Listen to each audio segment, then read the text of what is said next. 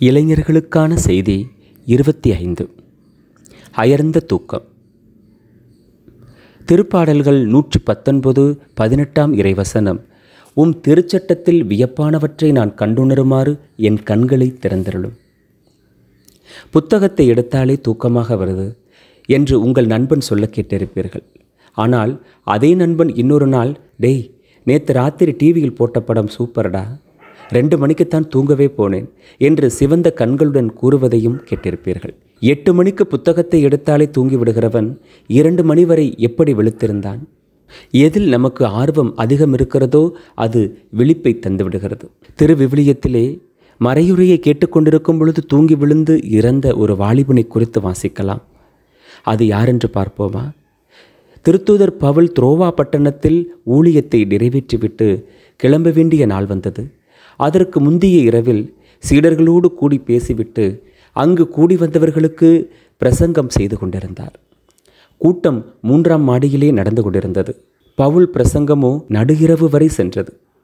அந்த கூட்டத்திலே ஐத்துகு என்ற வாலிபன் ஜன்னலில் உட்கார்ந்திருந்து பவுலின் வார்த்தைகளை கேட்டுக்கொண்டிருந்தான் இரவு நடு இரவு ஆனதினாலே தூங்கி மேலிருந்து கீழே விழுந்து இறந்தவனாக எடுக்கப்பட்டான்.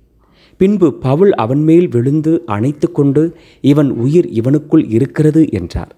அவ்வாலிபன் பிழைத்து கொண்டான்.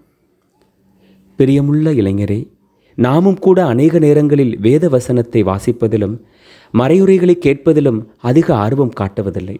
தூங்கி விழுகிறோம். டிவி பார்ப்பது விளையாடுவது இன்ட்ரெஸ்டாக இருக்கும்.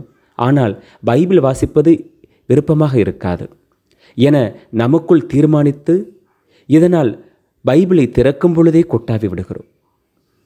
கூட்டத்தில் கடைசி வரிசையில் உட்கார்ந்து கொண்டு மறையுறை ஆரம்பிக்கப்பட்டவுடன் பையிலுள்ள செல்போன் கைக்கு வந்து விடுகிறது. ஆனால் தேவனை நேசிக்க நேசிக்க வேத தியானமும் செய்திகளை கேட்பதும் பரவசமூட்டும் நேரமாக மாறிவிடும். நீங்கள் இப்பாவ உலகில் கலந்து விடாமல் பாவத்திற்கு எதிர்த்து நிற்கிறவர்களாக இருக்க வேத வசனம் மட்டுமே உங்களுக்கு உதவும் என்பதை புரிந்து கொள்ளுங்கள். அன்பு பிள்ளைகளே தேவனுடைய வார்த்தைகளை நேசியுங்கள் வாசியுங்கள் யோசியுங்கள் தியானியுங்கள். அப்பொழுது அதன்படி வாழ முடியும். அதன்படி வாழுங்கள். அப்பொழுது உங்கள் வாழ்வு வளமாக இருக்கும். ஜெபம். ஆண்டவரே வேதத்தை வாசிப்பதில் நான் காட்டிய அலட்சியத்தை மன்னியும். அன்று உம்மோடு அதிக நேரம் செலவழிக்க விரும்புகிறேன். ஆனால் உலகமும் அதன் ஆசை இச்சைகளும் என்னை இ- இழுக்கிறது. அதிலிருந்து விடுபட்டு உம்மோடு வாழ உதவி செய்யும். ஆமேன்.